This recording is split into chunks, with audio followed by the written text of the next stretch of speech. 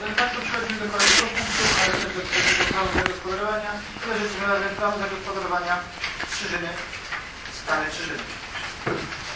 Panie Przewodniczący, bardzo proszę. Zawiadowanie projektu uchwały.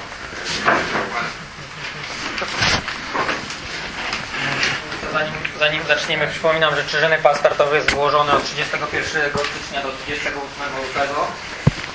Termin zgłaszania poprawek jest 14 marca. Macie, warto przekazać mieszkańcom, żeby oni już swoje uwagi wnieśli. Teraz będziemy rozmawiać o planie Stare Czyżyny, który jest już wyłożony od 7 stycznia i jego termin wyłożenia się skończył, ale uwagi można zgłaszać jeszcze do 18 lutego. To jest dla osób, które mieszkają pomiędzy ulicami Alei Pokoju, e, Jana Pawła i Nowochódzką.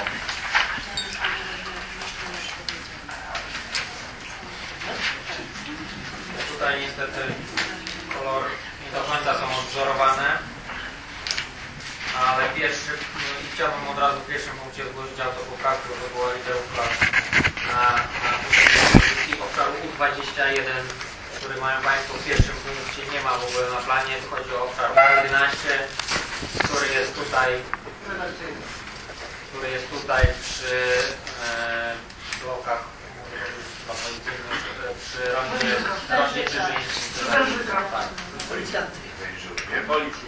I tutaj zabudowa usługowa była dużo wyższa, no my chcemy ograniczyć ją do 12 metrów, czyli do 4, 4 pięter maksymalnie.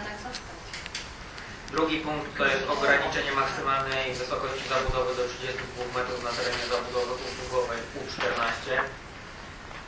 To jest ten obszar tutaj e, w rogu przy ulicy Nowochódzkiej. To jest ten obszar tutaj. To jest obszar za lamusownią. E, tutaj była wysokość na pewno powyżej 40 metrów, chcemy ją ograniczyć do 32, czyli to jest około 10 pięter.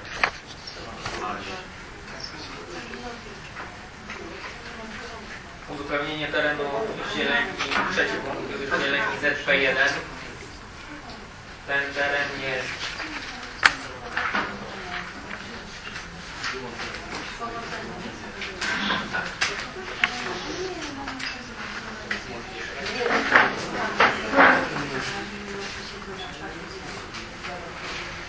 Tutaj niestety, niestety nie widać, ale na, na komisji, gdzie mieliśmy kolorowy plan, tutaj jest tylko mała, wnioskowaliśmy o ogródek jordanowski na całym tym terenie. Biuro Planowania Przestrzennego uwzględniło tylko mały skrawek tego terenu. E, No i dlatego ponawiamy swoje wnioski, aby ten teren został uzupełniony o te e, działki czyli 260, 261, 260, 259. Ponieważ chcielibyśmy przyszłości tam realizować również ogródek jordanowski, na tym terenie tutaj w okolicy takiego y, nie ma i działki, które są tutaj z tyłu są własnością miasta, więc możemy y, rozporządzać tym terenem i mamy nadzieję, że zostanie to powiększone. Czwarty punkt dotyczy terenów MW2, MW3 i MW4. Tutaj są tereny MW2 to jest ten teren, MW3 jest tutaj obok, MW4 to jest ten teren poniżej. I to jest mieszkalnictwo wielorodzinne. I wniosek nasz, nasz, nasz jest tylko taki, aby dopuścić e, dachy spadziste na tym terenie, ponieważ jest zapis, e, że wszystkie dachy nowe inwestycje muszą być płatkie, a, a dachy spadziste już to tam są, można nawiązywać do tego i, i wtedy będzie to ładne, zachowane. To jest teren o, ulicy Dolnej, Strumyk. A ja będę musiała zabrać. Się jej założy i płaci. Tyle ogródek miał być. Pociągniemy do góry. Dolna Całego Strumyk, pani pani tu jeszcze jest łapem jedna. dźwignięta. Dolna Strumyk i Poleska? Poleska.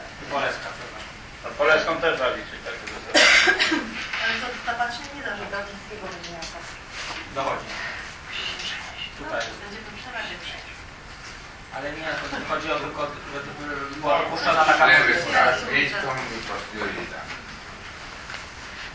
Skąpy te. Jeśli większość jest tak spać. To wszystko. Dziękuję bardzo Panie Przewodniczący. Drodzy Państwo, Przy ulicy Gałczyńskiego. Przy ulicy Gałczyńskiego to jest też mały teren tutaj. Pomiędzy Narciarką a tyłami ulicy Gałczyńskiej. Dokładnie. Drodzy Państwo, Mikołaj jest ważny dla naszej dzielnicy, dla ważny dla, dla naszych mieszkańców. Dobrze, jeszcze raz dziękuję Komisji Zagospodarowania za jej przygotowanie. Tu również jest częściowe wyłożenie. Drodzy Państwo, otwieramy.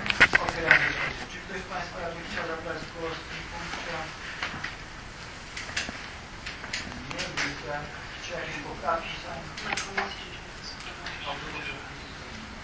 Jest. W pierwszym punkcie jest U21 A, na redakcyjne o Państwo, no to przechodzimy do głosowania. Kto z Państwa radnych jest za przyjęciem tego uchwały, proszę o podniesienie ręki oraz za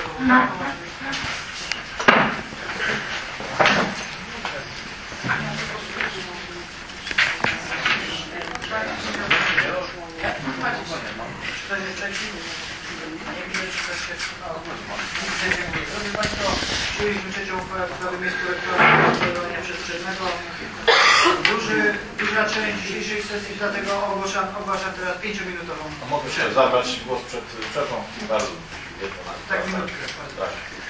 E, Szanowni Państwo Radni, ja chciałem bardzo podziękować e, w imieniu rodziców Szkoły Podstawowej 52 wszystkim radnym, którzy zaangażowali się mniej lub bardziej, ale generalnie bardziej e, w obronę Szkoły 52. Dziękuję bardzo serdecznie wszystkim Państwu.